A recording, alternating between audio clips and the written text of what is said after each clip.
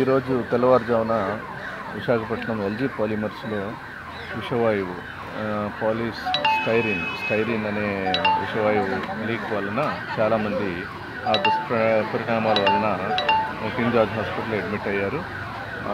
వాళ్ళందరికీ కూడా ఇక్కడ వైద్యం జరుగుతుంది.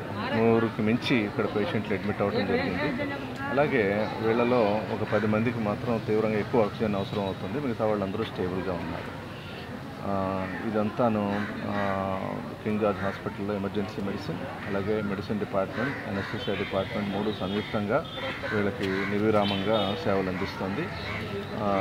వీళ్ళందరూ కూడా రికవర్ అవుతారని పూర్తి నమ్మకం ఉంది. ప్రభావం ఎవరి మీద ఎక్కువ పడేవారు?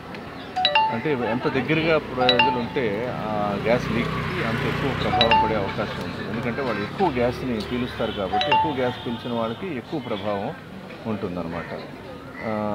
అందువలన దగ్గరగా ఉన్న వాళ్ళు ఇప్పుడు ఈ నలుగురు వ్యక్తులు చనిపోయారని చెప్తున్నారు. వాళ్ళందరూ బాగా దగ్గరగా ఉన్న వాళ్ళు ఉంటారు. అందువలన వాళ్ళందరినీ కూడా దారిలోనే వాళ్ళు చనిపోవటం జరిగింది. ఒక వ్యక్తికి మాత్రం ఇక్కడ మనం వైద్యం చేస్తుండగా చనిపోవటం జరిగింది.